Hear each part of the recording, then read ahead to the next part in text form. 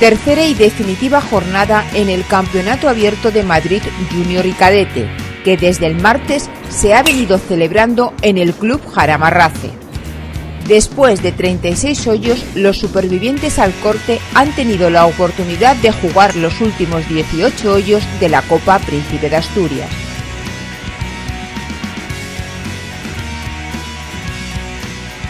Divididos en dos torneos, masculino y femenino, para las chicas no hubo muchas variaciones sobre el inicio de la jornada.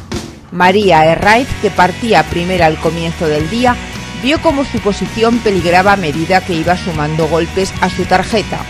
Afortunadamente para ella, tampoco sus rivales supieron mejorar el resultado global, así que con las mismas rentas del miércoles, María pudo proclamarse campeona, tanto en categoría cadete como en junior.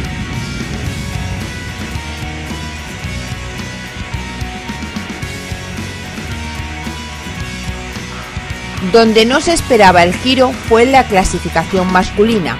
Tanto Javier Paradas como Nicolás Baena firmaban sus tarjetas con 68 golpes, sin duda el mejor resultado de la semana, y al igual que ayer volvían a presentar idéntico resultado.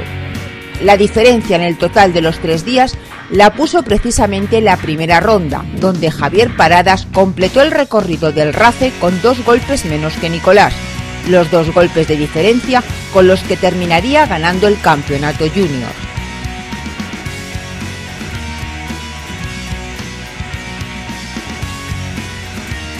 Por su parte, Alejandro del Rey, que fue mejorando día a día, acabó siendo el mejor cadete y adjudicándose el campeonato en esta categoría.